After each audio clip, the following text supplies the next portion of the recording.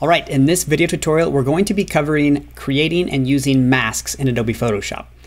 Now, check the timestamps down below because we're going to be covering quick masks, we're going to be covering layer masks, we're going to be covering vector masks, and we're going to be covering clipping masks, and even quick mask mode. So check the descriptions for to jump to specific sections for each of those mask terms. It's my opinion that masking is one of the things that can make you an expert inside of Photoshop. So follow along and hope you learn something.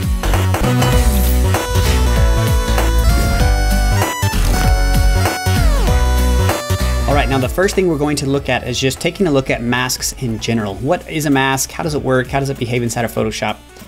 So let's go ahead and get started. Now, there's one important concept you need to realize with masks. The term mask can be think of like a literal mask on your face. So if I wear a mask on my face, of course, it's going to cover up all of the things behind the mask. So a mask doesn't delete my face, it rather just hides certain portions of my face. And the same concept works inside of Adobe Photoshop, where when I create a mask, I'm simply hiding portions of that layer. I'm not actually deleting portions of that layer. So I'm going to do a really quick demonstration to show the difference. Now, here I've just got a single layer here, and I'm just going to, I've imported this little picture here of some raspberries, and what I want to do really quick is just rasterize this layer so you can see the difference between the old school method of deleting pixels and the new method of using a mask. So I'm going to right click here and say rasterize this layer. Now, before we had masks in Photoshop, you would actually have to come over here, get your eraser tool. And if I wanted to erase a certain portion of this, let's say I want to get everything except this bull, I would have to come in here and use my eraser tool to erase out those pixels. Now, that's okay, but that's a destructive way of working because once you erase pixels inside of Photoshop, you can't ever get those back. So if I continue working on this document and try to go back and fill these back in, they're gone forever. Now I'm going to undo here, Command Z. Now the opposite or the new method, which is called a non-destructive workflow inside of Photoshop, is using a layer mask. Now the easiest way to create a layer mask for me is come down here, select your layer inside of the layers panel, and then right below this little icon that looks like a half black, half white circle here, you just click that icon and that will apply a layer mask onto your document. So you can see now here I've got my pixels and here I've got the layer mask. Now the layer mask by default is the color white. That will become important here in a second. So now that I have the mask selected, notice how I can select the pixels or I can select the mask. Now that I have the mask selected, I'm going to come in here with my paintbrush tool and do the exact same thing. So notice I'm not, oops, I actually am erasing. Let me get my brush tool. Got to get my brush. And with masking, you use a brush. And if I come in here and paint, I'm going to be painting with the color black here. Notice how it looks like I'm deleting those pixels. But in fact, I'm not deleting those pixels, I'm just hiding those pixels. Because if I turn off my layer mask, you can do that by right-clicking the layer and disabling the layer mask. See how I turn off the layer mask and there's a big X through it right now? I've turned off that layer mask and notice those pixels are now filled back in. Another shortcut there is holding down the Shift key on the keyboard and clicking that little mask icon we'll turn that on and off.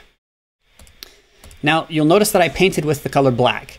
Now there's this is the second important concept when you're using a layer mask to hide or reveal certain areas of your pixels. And that is black, the layer black conceals the did I say that right? The color black conceals, the color white reveals. So if you can kind of memorize that little limerick, black conceals, white reveals. So in other words, if I come over here to my foreground color here and I switch my colors to instead white and I paint with the color white, notice I'm now revealing back those pixels. So I can sort of do the opposite. I can paint with black to hide, paint with white to sort of reveal. And that's the basic concept of masks. They're always black or white when you're working with a pixel mask or a layer mask like we are in this instance. So they're grayscale. So I'm going to be painting with black to conceal, white to reveal.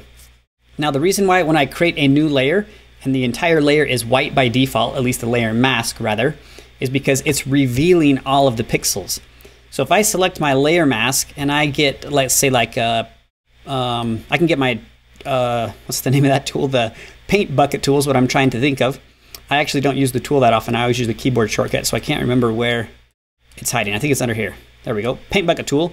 I switch to black and click in here Notice how I filled my mask with black, therefore concealing the entire pixels on that layer.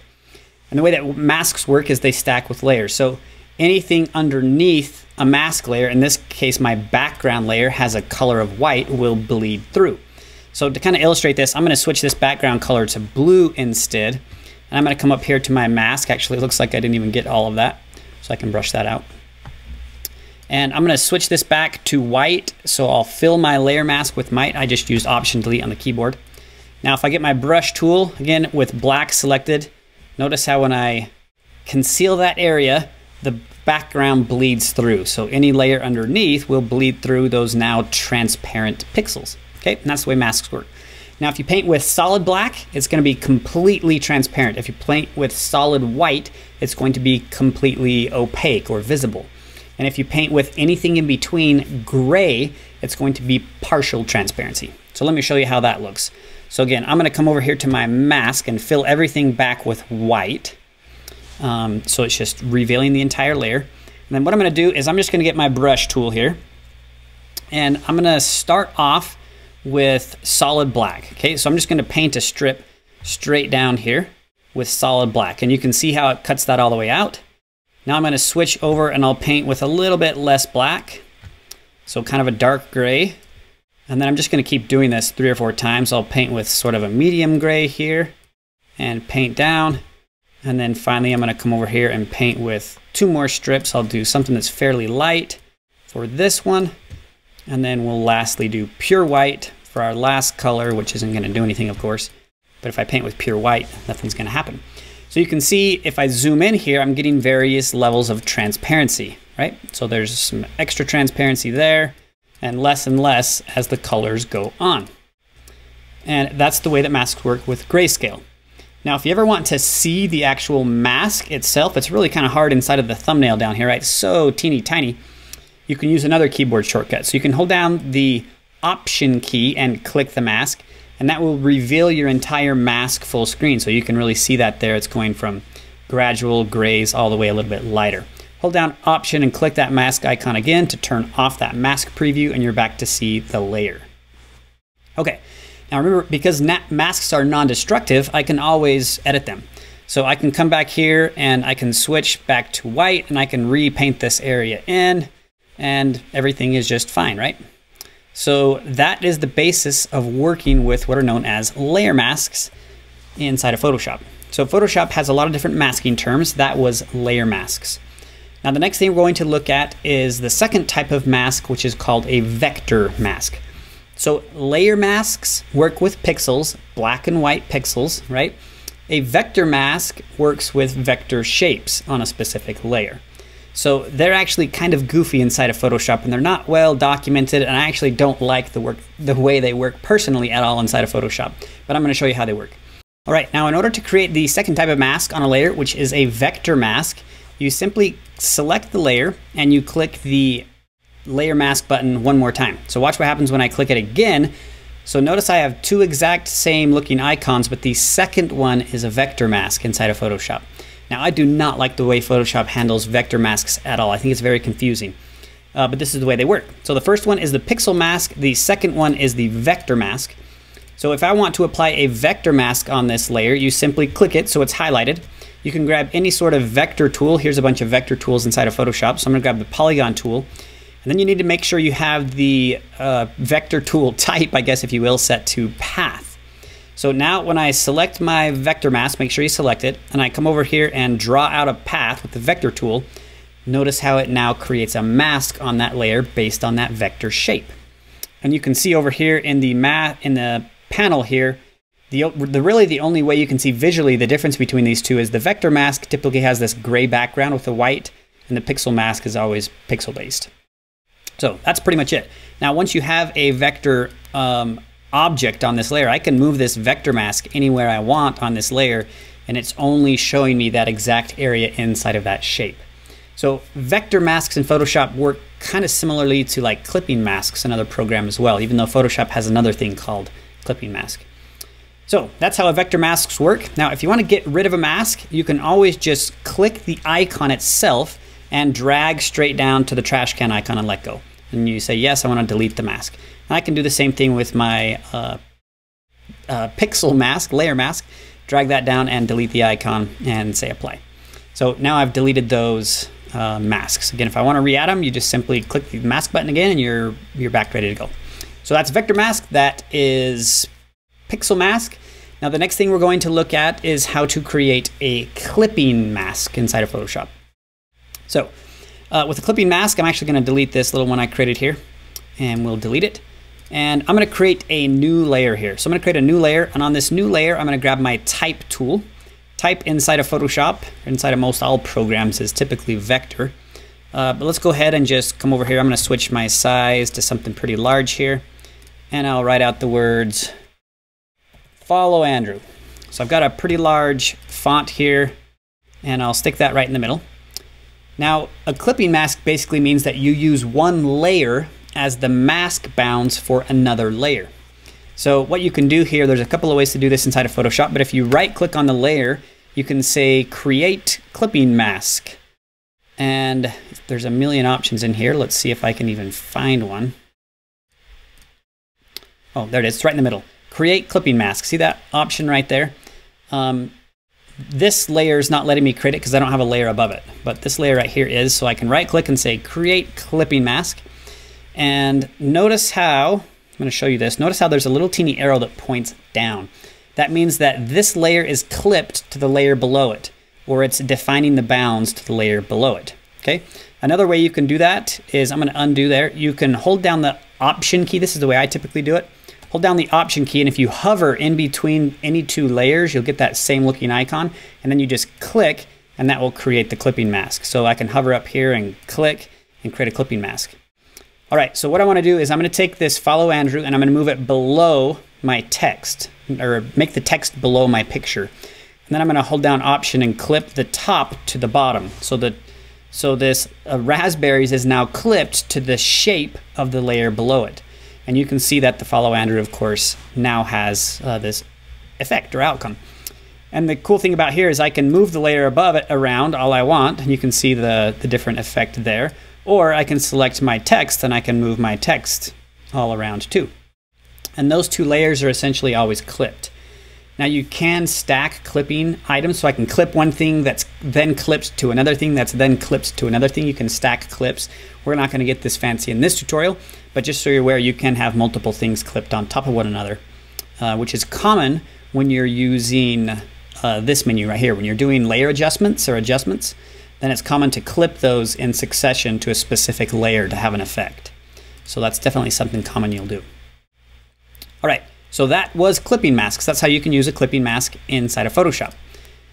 And uh, I guess you, you should realize that you can also have pixel masks, layer masks, on top of clipping masks as well. For example, I can come in here to my follow Andrew layer and create a regular layer mask on side of here, get black, I'll go over here and switch my colors to black and white, get my brush, and right, I can paint in a little mask just like I showed you before. Whoops, I wanted to do this one, right? I can paint that black to conceal that area and it's gonna be hidden even though there's a layer above it clipped down as well. So all layers can have layer masks. Even the clipping mask layer could if I wanted. Okay, I'm gonna undo those changes and I'm gonna unclip this now. So I'm gonna hold down option and click that back to unclip those two layers together. And now we're gonna look at the next clipping thing or the next masking thing, which is called quick mask mode.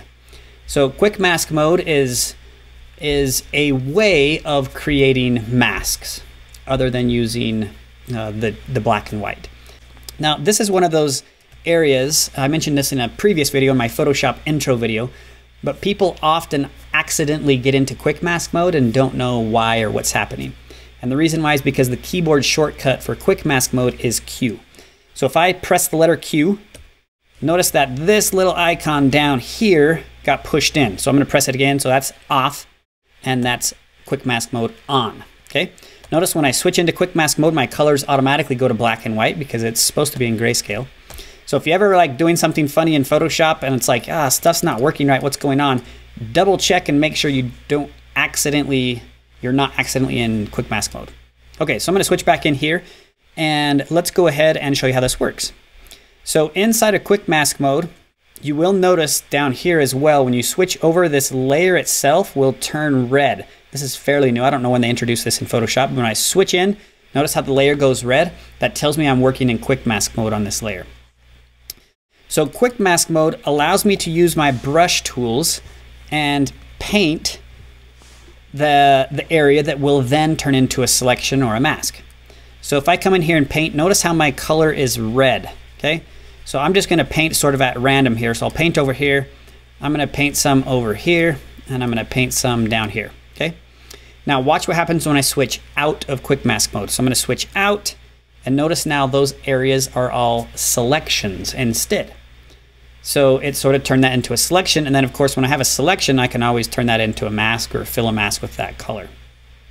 So quick mask mode is a way of painting selections instead of using the traditional marquee tools up here, right? Where you use your lasso tool and your um, elliptical marquee tools. These tools are typically done for selecting things. So if I'm trying to select this and it's a little bit hard, hard with your mouse and you're like, I can't quite get it, well, switch to quick mask mode and then just use your brush tool. And you can brush with black and white. It's just the same thing with uh, the way you can paint in and paint out. So I can undo and redo and get any areas you want inside of quick mask mode. So I'll just quickly paint through here. And it's the same thing if you paint with a gray color instead of black or white, you're gonna have transparency. So I'll do that and I'll switch out of quick mask mode and then I'll create a mask on this. So I'll just click my mask and there we go. So it created that little weird shaped mask on my layer. The only thing, only other thing I'll point out here with quick mask mode is I'm working with the color, I have the color red. So let me say I'm gonna zoom in way on one of these raspberries. And let's say I wanna select just one raspberry with quick mask mode. So if I switch into quick mask mode and I've got my brush here, I'm gonna take down the hardness a little bit so it's, uh, it's, it's a more hard, less soft brush. So if I'm trying to do quick mask mode in here, this is really hard to see, right? Because I'm painting with the default, quick mask mode by default has a red overlay, and I'm painting on a red object and I can't really see what I'm doing. So if you're ever trying to quick mask on things that are red, you wanna switch your quick mask color. So to do that, you double click on the quick mask icon. So double click, and it brings up the options. And notice how I have this color here?